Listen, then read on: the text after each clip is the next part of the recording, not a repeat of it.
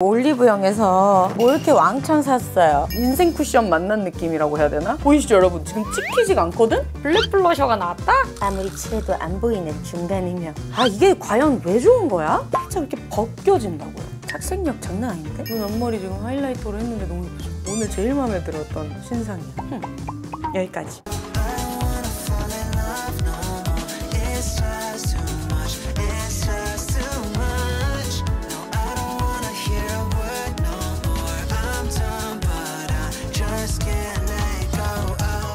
안녕하세요 미우들. 제미포입니다.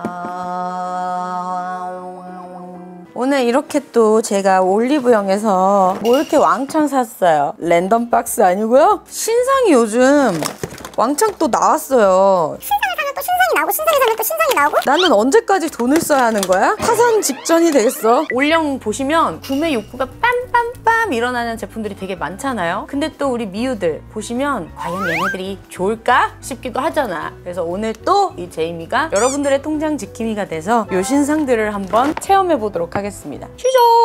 자, 먼저 일단 쿠션은 더샘 Cover Perfection concealer 쿠션 랭킹템에 올라와 있는 제품인데요. 런칭 기획 세트로 쿠션 본품 12g이랑 쿠션 리필 12g 그리고 팁 컨실러 미니 5g까지 이렇게 받았거든요 지금 할인가 26,400원에 제가 구매를 했으니까 나쁘지 않은 구성인 것 같아요. clear 베이지 색상을 구매를 했는데 19에서 20호 neutral 톤으로서 상아빛이 감도는 화사한 베이지 컬러라고 합니다.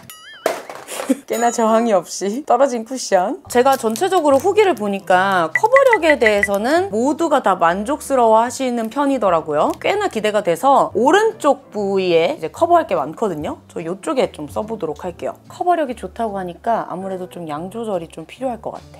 찍고 찍고 컬러감에서 말씀을 드리자면 제가 1.0을 구매를 했잖아요. 더샘 쿠션 컬러가 되게 안 예쁘다고 제가 편견을 가지고 있던 편인데 이 컬러감은 꽤나 마음에 듭니다. 이게 약간 화사하네요, 컬러가. 너무 노랗지도 않고 핑크톤도 아닌 게 저는 마음에 들어요. 여기 여드름 자국이 많거든요. 근데 어떤 후기에는 좀 두껍게 발린다는 말이 있었는데 양 조절을 제가 나름 이렇게 톡톡 하고 바르니까 저는 그렇게 두껍다고 느끼지는 않는 것 같아요. 커버력은 진짜 좋네. conceal 커버 쿠션이란 이름값, 밑값을 하는 것 같아요. concealer랑 같이 섞어서 바르는 느낌이에요. 그러니까 시간이 지나서 보랏빛 띠게 된 그 흉터라든지 빨긋빨긋한 그 좁쌀 여드름의 흔적을 어느 정도 이 쿠션이 샥 커버해주는 느낌이라 그래야 되나? 그리고 우둘투둘한 이 모공이랑 피부결을 얘가 샥 커버해줍니다. 제가 항상 말씀드리는 제 쿠션을 선택하는 중요한 기준. 피부에 찹찹찹 쌓아지는 그 안정감 있는 밀착력이 굉장히 마음에 들어요. 인생 쿠션 만난 느낌이라고 해야 되나? 커버력이 너무 좋은데? 뒤집어지게 좋아. 약간 파여있는 흉터 같은 여드름도 잘 안 보일 정도로 커버가 됐거든요. 커버력은 더샘 진짜 잘한다. 건성분들은 기초 케어 잘하고 올려주시긴 해야 될 것 같아요. 아무래도 커버력도 있고 밀착력도 좀 이렇게 쫀쫀하게 찹찹찹 올라가는 semi-matte 제형의 쿠션이다 보니까 대충 기초 케어를 하고 올렸다 하면은 어떤 건성분들한테 저한테는 좀 각질 부각이 있다고 느낄 수도 있는 그런 쿠션이라고 좀 생각이 들었습니다. 코 부분은 코 역방향으로 살짝 치면서 들어가야지 코 커버가 잘 되거든요.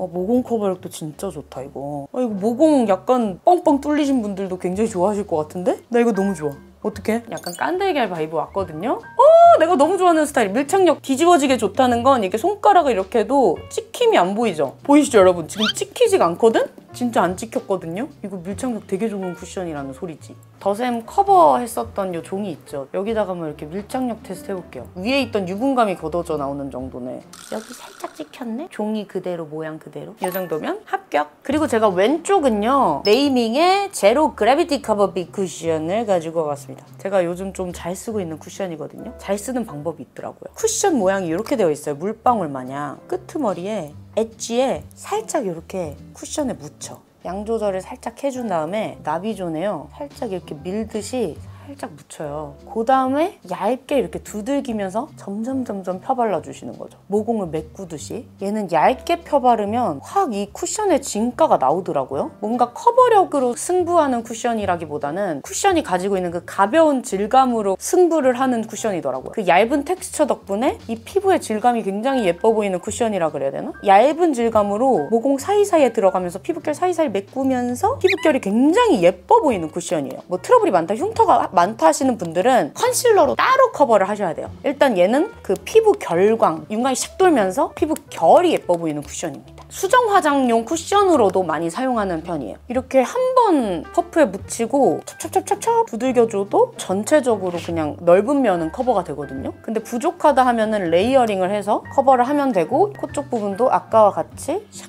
밀듯이 커버해주고 또 이렇게 모공 메꾸기. 근데 얘 좀 아쉬운 점은 지속력이 조금 아쉬워. 굳이 제가 항상 추천했던 에스쁘아 비벨벳 쿠션이랑 비교하자면 지속력이 한 마이너스 4시간 정도? 사라지는 느낌이에요. 되게 얇아서. 수정 화장으로 이렇게 다시 덮으면 돼. 그건 좀 장점? 쿠션 질감의 차이가 보이세요, 여러분? 사용한 쿠션이 다르잖아요. 오른쪽 얼굴, 왼쪽 얼굴. 확실히 왼쪽 얼굴이 얇아 보이기는 하죠. 대신 그만큼 커버력이 조금 떨어집니다. 지성 복합성 분들에겐 이거, 그리고 건성 분들은 무조건 이거. 다음! 그리고 이제 일본에서 구매를 했었었는데 그때 당시에는 일본에서만 있었던 한국 제품이고요. 지금은 올영에도 제가 구매했을 당시 올영 ranking템이었어요. 어퓨 Water Lock Finisher. 굉장히 신박템이죠. 이게 일본 분들한테 엄청 핫했었던 듯 이게 촉촉한 파우더라고 생각하시면 됩니다. 액체 형태로 되어 있는데 얼굴에 올리면 뽀송해집니다. 근데 제가 사실 이거를 예전에 우리나라에 이런 게 비슷한 게 있었어요. SNS 광고템 하면서 그 브랜드 거를 썼었는데 최악의 평을 남겼단 말이죠. 자료 화면을 보여줄 수도 없어. 내가 너무 나쁜 말을 했기 때문이야. 좀 안 좋은 기억이 있어요. 이런 촉촉한 파우더에 대한. 아 이게 과연 왜 좋은 거야? 의문을 가졌었는데 나도 사실 어제 좀 테스트를 하면서 좀 의아했어. 아무튼 퍼프는 되게 귀엽습니다. 퍼프에다가 얘를 묻히고 보시면 얘가 이렇게 유분감을 잡는단 말이 지. 근데 보시면 이렇게 자국들 보여요? 제가 이런 파우더를 좀 안 좋아하는 이유입니다. 베이스를 하고 나서 살짝 베이스를 뭉치게 한다?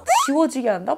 벗겨낸다? 라고 하는 소신 발언을 하고 싶은 마음이 스물스물 들어. 이미 했지만 말이에요. 두들기다 보면은 좀 나아지기는 해. 이거는 약간 파데 free용인 것 같아요. 선쿠션 바르면은 커버력이 있는 쿠션을 바른 게 아니니까 유분기만 있는 거잖아요? 그럴 땐 이런 걸 사용했을 때 너무 건조하지 않게 자연스럽게 그냥 유분기만 걷어낼 수 있는 용도로 사용하긴 되게 좋을 것 같거든요. 이런 여름에. 커버력 있는 쿠션을 사용한다? 파운데이션을 사용한다? 이럴 때 이걸 사용하면 이 촉촉한 파우더에 입자가 뽀송해지면 이렇게 남고 살짝 이렇게 벗겨진다고요.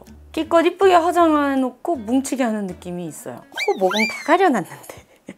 처음에 촉촉하잖아요. 얘가 입자가 굳으면서 베이스를 보송해지게 하는 원리인데 보송해지면서 이렇게 입자가 하얗게 올라온다고. 진짜 파우더는 쓰고 싶은데 좀 너무 건조해서 못 쓰겠다 하시는 그런 건성분들 있죠. 써볼 만은 할 것 같아. 조심스럽게 쓰신다면. 아주 조... 아니야. 그냥 모르겠어요. 다음 그리고 노베브 Volume Detail Shading Palette. 노베브에서 새로 나온 호수거든요. Taupe Gray 색상이 cool톤 색상이었어요. 근데 그것보다 더 뽀용하게 그리고 조금 더 화사하게 나온 톤이에요. 이게 훨씬 더 마음에 들더라고요. 노란 cool톤으로서 파우더가 더 뽀용하게 나와가지고 얼굴을 더 화사하게 살려놓더라고요. 파우더 브러쉬에 이렇게 묻혀가지고 꺼진 부위 있죠. 저는 약간 이런 앞볼 이런 부위 싹 살려주면 여기가 싹 화사해지거든요. 보이시죠, 미우들? 나 지금 필러 넣고 왔잖아. 칙칙한 부위 있죠? 팔자주름 있는 부위. 이 부위 해주고 싹 blending blending 해주면 노란 cool톤이 가려지는 느낌? 이게 싹 여기가 화사해졌죠, 여기보다.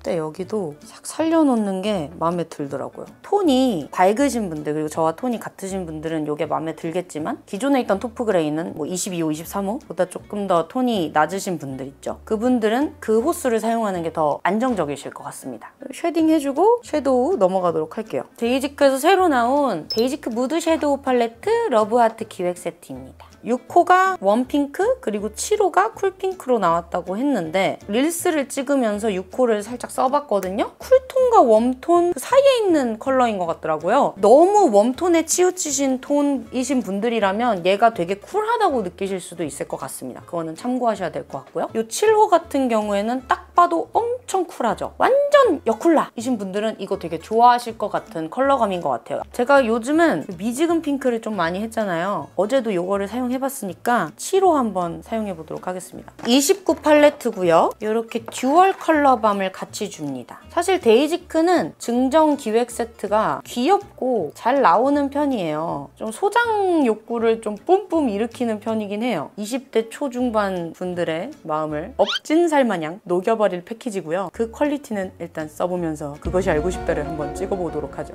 베이스 컬러부터 음영 컬러까지 딱 들어가 있는데요. 하이라이터까지 해줄 수 있는 펄까지 있어서 오늘 하이라이터는 요 안에 있는 펄에서 하나 뭐 골라가지고 해보겠습니다. 위에 상단 컬러는 되게 흰기가 돌아서 전체적으로 완전 light 톤들 분들 아니시면은 은근히 쓸 컬러가 곤란하기는 하다. 여쿨라 추천, 겨쿨 페일 추천. 일단 이렇게 오 이 컬러로 베이스 깔기는 잘한 것 같습니다. 일단은 이 컬러 섞어서 가루 날림은 살짝 있는 편? 애교살에. 아 근데 컬러는 진짜 이쁘다. 어제도 6호 컬러들 사용하는데 컬러는 진짜 이쁘다고 계속 느꼈거든요. 엄하다 싶을 수도 있는 너무 핑크핑크 톤 컬러잖아요. 근데 막상 눈에 바르니까 굉장히 사랑스럽습니다 컬러가. 이런 톤들 섞어서 애교살 라인 음영 조금 그어주고 이 톤으로 중간 음영 한번 잡아볼까요? 살짝 light한 중간 음영을 잡아보도록 합시다. 아무리 칠해도 안 보이는 중간 음영. 내 음영은 어디 간 것인가 이렇게 따로 발랐을 때는 컬러감이 나오는데 이렇게 쌓으니까 음영이 잘 발색이 안 되는 느낌? 발색력이 살짝 아쉽다고 느꼈습니다 지금 그럼 요런 컬러로 가보자 아 요렇게 좀 진한 매트 컬러로 가니까 이제야 음영이 살짝 보이죠? 밝은 컬러들은 컬러감이 되게 예쁜데 매트한 음영 섀도우들이 살짝 발색력이 속상하게 만드네? 제 개인적인 의견입니다만 아무래도 다 뽀용뽀용 예쁜 핑크핑크 컬러들 이다 보니까 어떻게 보면 다 둥둥 뜨는 light 컬러들이잖아요. 이런 컬러들은 전체적으로 눈에 깔아줬을 때 어떤 분들한테는 부어 보일 수 있는 컬러기도 하니까 음영 컬러들이 딱 눌러줘야 되는데 이 세 개가 그나마 있는 그런 음영 컬러란 말이죠. 이것까지 뭐 합해주면 4개 정도? 그 역할을 흠.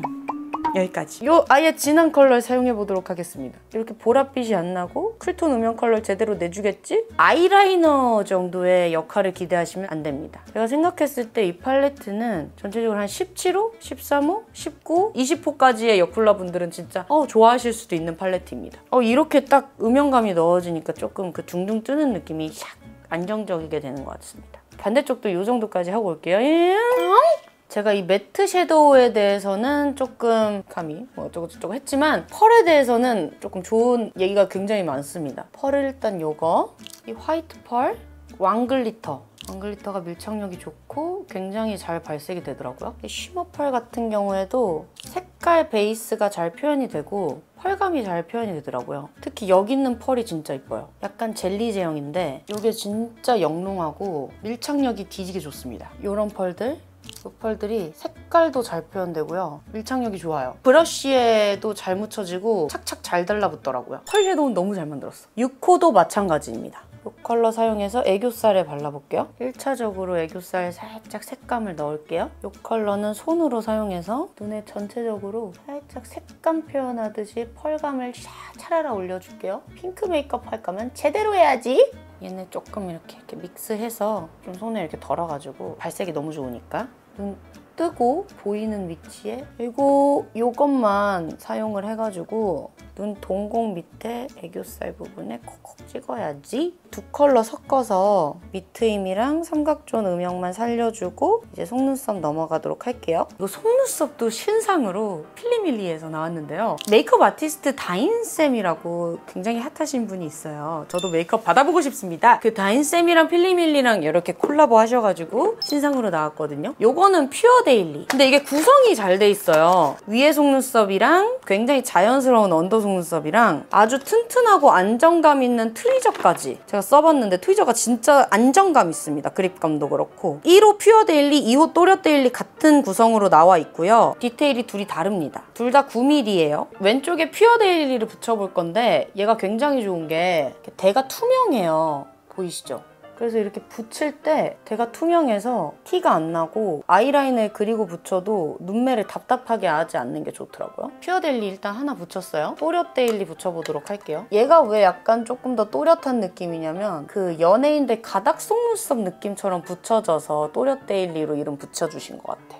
한 쪽씩 붙였는데 일단은 다 붙이고 와야지 비교가 가능할 것 같습니다. pure daily, 또렷 daily 이렇게 붙여서 왔는데 육안으로 봤을 때 그렇게 큰 차이가 없거든요. 둘 다 꽤 자연스러운 편에 속하는 속눈썹입니다. 말 그대로 daily로 사용할 수 있는 속눈썹인 것 같아요. 굳이 차이점을 말씀드리자면 일단 왼쪽 pure daily 쪽은 내 속눈썹인데 속눈썹 영양제를 아주 잘 열심히 몇 개월 동안 먹여서 얘네가 확 길어지고 약간 튼튼해진 느낌? 뷰러를 열심히 한 느낌? 오른쪽 요 또렷 daily는 말 그대로 엄청 자연스러운 낱개 속눈썹을 일일이 붙인 느낌입니다. 여기다가 이제 속눈썹 풀자국 가려주기 위해서 아이라이너 slim light black S를 사용을 해가지고 점막 사이사이에 이렇게 붓펜을 콕콕콕 건드려서 속눈썹 사이사이에 풀자국을 좀 칠해주면 좋아요.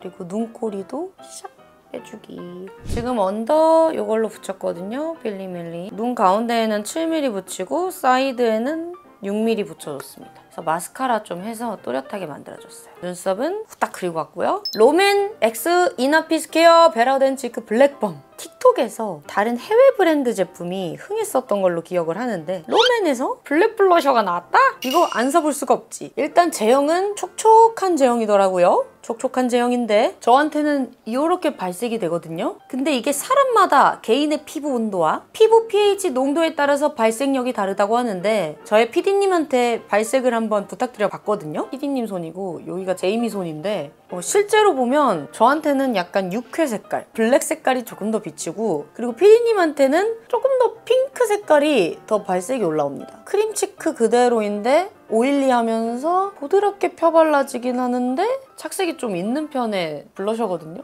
피부에 스며드는 그런 텍스처? 약간 컬러를 보아하자니 봄warm라 분들이다 하면은 일단 자 뒷걸음질 다섯 보 그리고 내가 겨cool이다 하시면 어서 들어오세요. 겨cool 분들은 소장 가치가 있을 것 같긴 합니다. 일단 유니크하기도 하고 베이스를 깔아 뭉개는 느낌도 없고 베이스를 막 뭉치게 하는 느낌도 없고 안정적으로 올라가는 그런 cream cheek? 이게 뭔가 색 감이 막 되게 도드라지면서 올라가는 느낌은 아닙니다. 엄청 투명하다면 투명해요. 잘 펴발라 주셔야 돼요. 아무튼 드문드문 이렇게 black balm인 게 좀 티가 나거든요. 그래서 살짝 이렇게 잘 두들겨 주셔야 돼요. 경계 부분을. 이 기름진 느낌이 되게 이뻐 보이는 기름진 느낌입니다. 그 속광 느낌. 역시나 이런 cheek는 지속력은 뭐 사실 기대할 수는 없습니다. 미끄덩한 oily한 제형이다 보니까 아까 파우더를 살짝 해줬잖아요. 그래서 베이스가 까지는 느낌이 없지 않아 있었습니다. 지금 살짝 cheek을 올리다 보니 제가 느꼈는데 그 황정민 씨 술톤이 생각났어요. 근데 이 컬러가 잘 받으시는 분들은 확실하게 겨cool이실 듯? 겨cool 아니시라면 daily blusher보다는 유니크한 느낌? 오늘 무드 있는 느낌의 셀카 찍어보고 싶다? 요럴 때 한번 찾아보시길 바랍니다. 난 그래도 메이크업의 무드를 이 blusher가 살짝 다운시키는 거를 속상해서 못 견디겠어서요. 데이지크가 좀 구원을 해줬으면 좋겠어요. 뽀용한 컬러들 blusher로 좀 사용을 해서 좀 덮어보도록 하겠습니다.